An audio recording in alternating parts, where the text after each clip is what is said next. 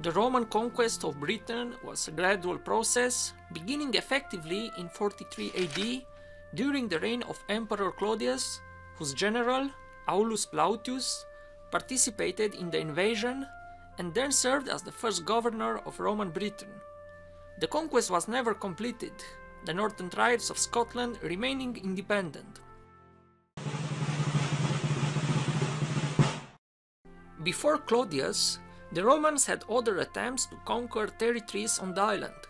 Since Julius Caesar's expeditions in 55 and 54 BC, Britain had enjoyed diplomatic and trading links with the Romans, and their economic and cultural influence was a significant part of the British late pre-Roman Iron Age, especially in the south.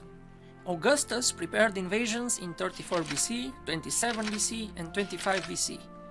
The first and third were cancelled due to revolts elsewhere in the empire, while the second because the Britons seemed ready to come to terms. According to Strabo's geography, written during this period, Britain paid more in customs and duties than could be raised by taxation if the island was conquered. The political situation within Britain became very agitated by the 40s AD.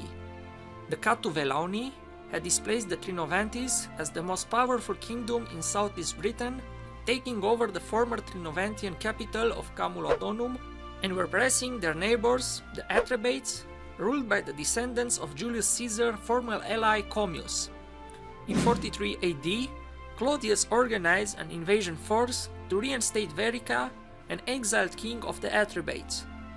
Aulus Plautius, a distinguished senator, was given overall charge of four legions, totaling about 20,000 men, plus about the same number of auxiliaries. The main invasion force under Aulus Plautius crossed in three divisions. The port of departure is usually considered to have been Boulogne and the main landing at Richborough. Neither of these locations is certain. British resistance was led by Togodumnus and Caratacus, sons of the late king of the Catuvellauni, Cunobeline. A substantial British force met the Romans at the river crossing thought to be near Rochester on the river Medway. The battle raged for two days. Hosidius Geta was almost captured, but recovered and turned the battle so decisively that he was awarded the Roman triumph. The British were pushed back to the Thames. They were pursued by the Romans across the river, causing some Roman losses in the marshes of Essex. Whether the Romans made use of an existing bridge for this purpose or build a temporary one is uncertain. Togodumnus died shortly after the battle on the Thames. Plautius halted and sent word for Claudius to join him for the final push. Cassius Dio presents this as Plautius needing the emperor's assistance to defeat the resurgent British, who were determined to avenge Togodumnus. However, Claudius was no military man. Claudius's arch says he received the surrender of 11 kings without any loss. Cassius Dio relates that he brought war elephants and heavy armaments, which would have intimidated any remaining native resistance. The Romans established their new capital at Camulodunum, and Claudius returned to Rome to celebrate his victory. Caratacus escaped and would continue the resistance further west. The next emperor who continued the conquest, Vespasian, took a force westwards, subduing tribes and capturing their fortified settlements as he went, going at least as far as Exeter. In the north, within four years of the invasion, it is likely that an area south of a line from the Humber to the Severn estuary was under Roman control. Late in 47 AD, the new governor of Britain, Publius Ostorius Scapula, began a campaign against the tribes of modern day Wales and the Cheshire Gap. The Silures of southeast Wales caused considerable problems to Ostorius and fiercely defended the Welsh border country. Caratacus himself was defeated in the Battle of Caer Caradoc and fled to the Roman client tribe of the Brigantes, who occupied the Pennines. When Nero became emperor in 54 AD, he seems to have decided to continue the invasion. Gaius Suetonius Paulinus mounted a successful campaign across Wales, famously destroying the druidical center at Mona or Anglesey in 60 AD at what historians later called the Menai Massacre. Final occupation of Wales was postponed, however, when the rebellion of Boudica forced the Romans to return to the southeast. The queen of the Iceni tribe commanded an army that burned to the ground Londinium, Verulamium, and Camulodunum. Her army was defeated by the Romans in the Battle of Watling Street in 61 AD. Following the successful suppression of Boudica's uprising, a number of new Roman governors continued the conquest by edging north.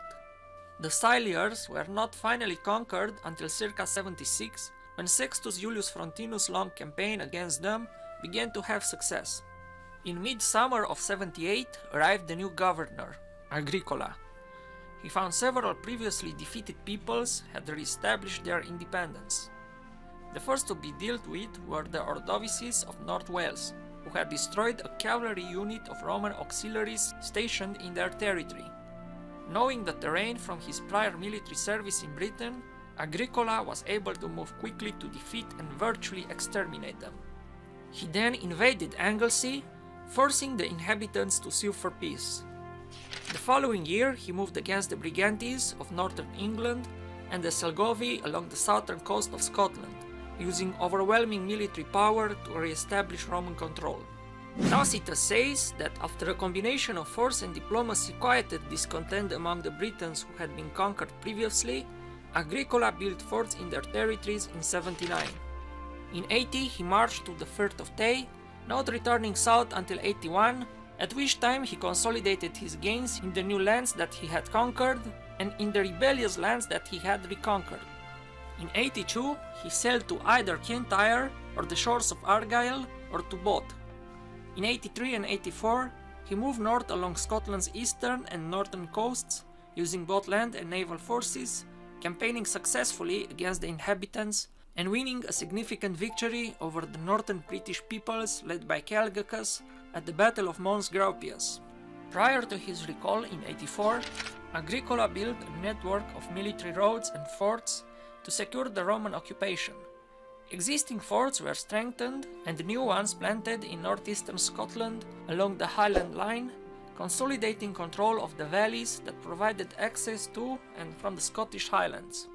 In southernmost Caledonia, the lands of the Selgovae, approximating to modern Dumfriesshire and the stewardry of Kirkcudbright, were heavily planted with forts not only establishing effective control there, but also completing a military enclosure of south central Scotland.